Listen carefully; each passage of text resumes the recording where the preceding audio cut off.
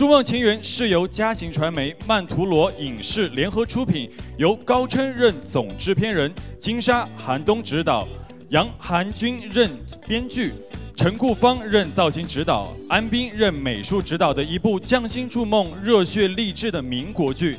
那讲述了一群民国建筑匠人们以匠心为本心，将中华优秀文化精髓运用到了建筑设计和建筑领域，使民族文化得以发扬，并推动了中国建筑事业新发展的一个故事。那传达了热血筑梦、匠心永存的精神理念，也是关于梦想和坚守的一个故事。呃，大家好，我是霍建华，我在剧中饰演叫沈其南，是一个营造师。嗯，谢谢。哇，哎，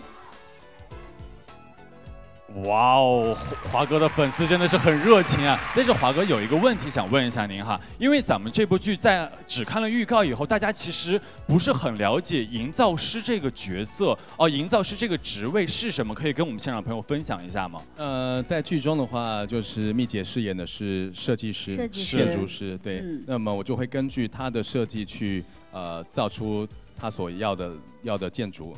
所以是是一个一个一个等于说是包工头，包工头的意思，一个包工头，一个匠人的形象，是不是？你有没有看到国外的工地？哪像这个样子，都是井然有序的。沈西南，把看工先生给我叫来。杜公子，我是工地小包，不是跑腿小包。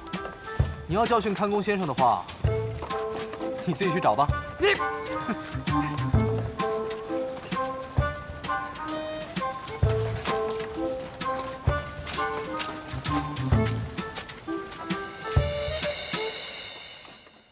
接下来呢，还要有请到的是我们下一位我们的角主角那也就是我们的另外一位主演主演张峻宁，张峻宁，峻宁来到我们的舞台当中。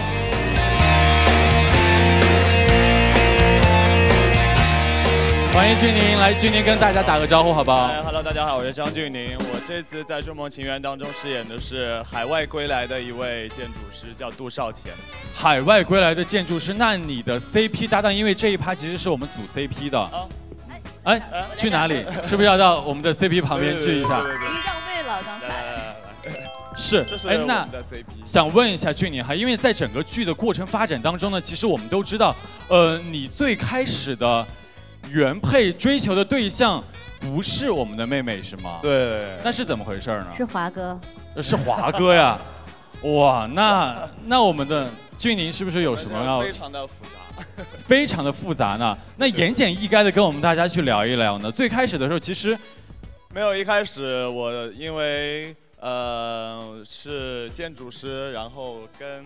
傅寒君因为都是棋逢对手的一个关系，然后在呃棋逢对手的过程当中，哎，发现我可以展开主动攻击了，但是却败给了华哥，却败给了华哥是吗？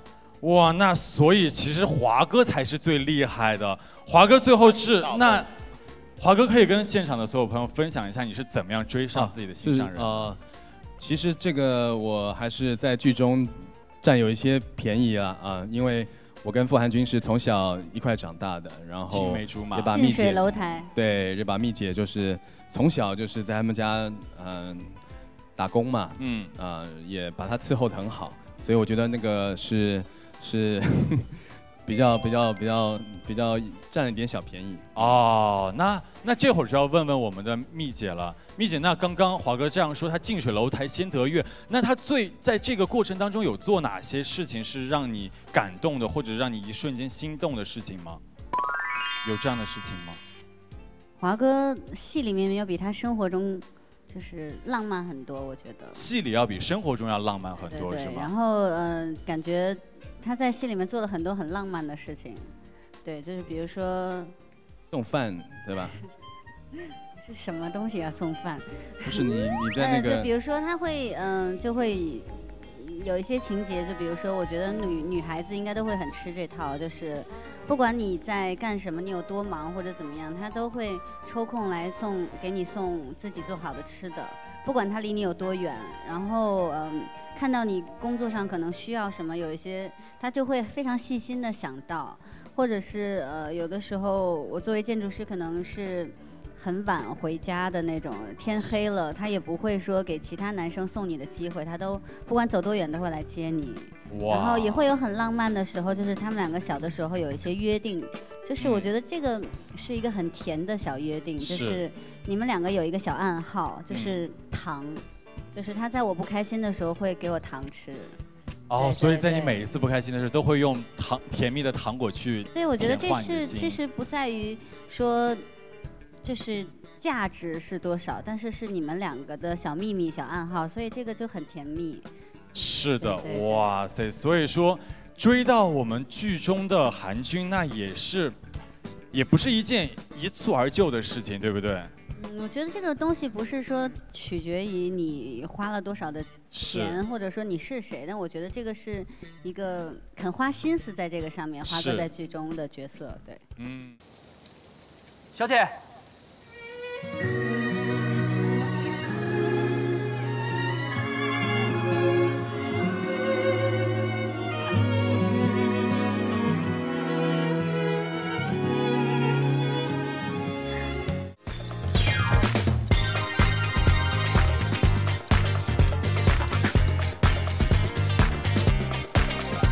够了吧，够了吧，够了吗？各位朋友们，好停。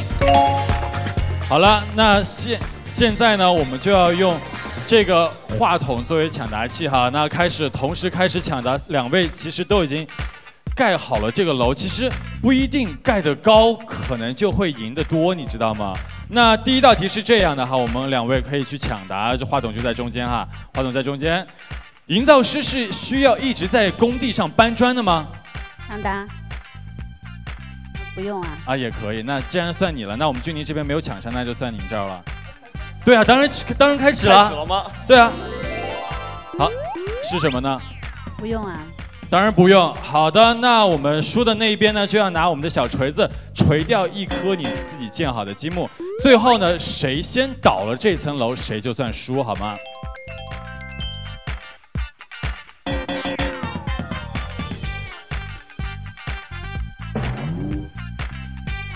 小心啊，一个就可以了。啊，你一个还不行啊。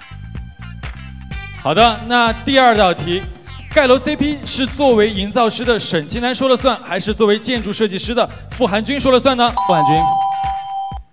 哇，我们的华哥已经抢答抢得非常的快，好吗？那君宁你这边就继续再来一个。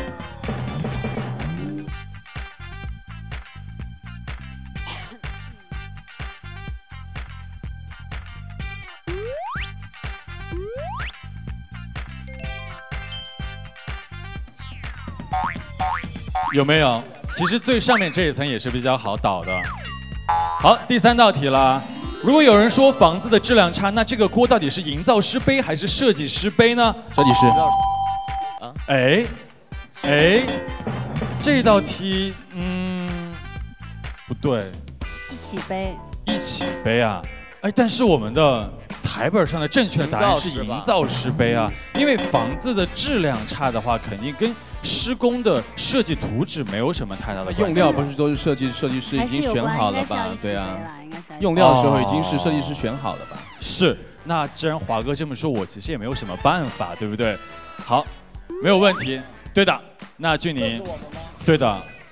你们下一次可以把话筒拿在手你们到底有在玩这个游戏吗？只 只是为了敲敲这个木头，对不对？玩这个，只是想要敲木头。对。啊，最上面这一道了，好，最后一道题了，最后一道题了。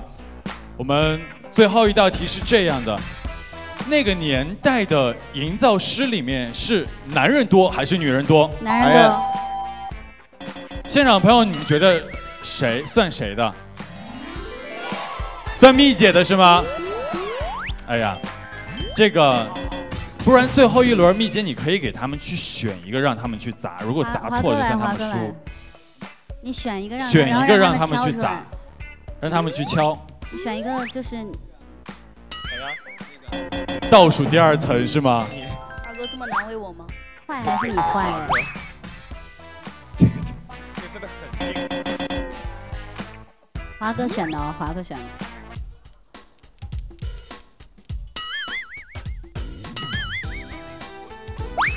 马上，可能，哎，哎，恭喜恭喜两位成功了。那发现了哈，其实现场两位两组 CP 呢，这组哎动手能力非常非常强，那这组呢真的是 IQ EQ 都非常非常高。那最后真的其实也是难分众博，那就算两组打成了一个平局，好不好？来，恭喜恭喜四位，那也请怎么弄？怎么样会比较比较有趣啊？比较有趣啊，我不会。怎么样比较有趣？你就很有趣，就这样吧。好了，就敲砖嘛，就这样。来，有请媒体朋友们可以拍一些照片。好的，好的，谢谢二位，谢谢二位。那这一组道具算是用完了，你可以再选一组吗？还有是吧？对，还有一组，小心重。太沉了。有点沉哈。蜜姐选一个吧。蜜姐选一个。那边还有两块板砖。你定，你定。板砖拍完了，其实就已经可以换一个。要不蜜姐选一个这个量尺，可以。你呢，华哥？我选一个家电，就是这个。武侠片。武侠片。来用武侠片的感觉。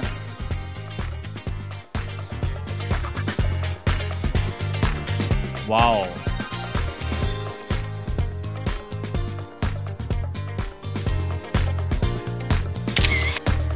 两位用最简单的工具摆出了最时尚的 pose，对不对？好的，非常谢谢两位，谢谢。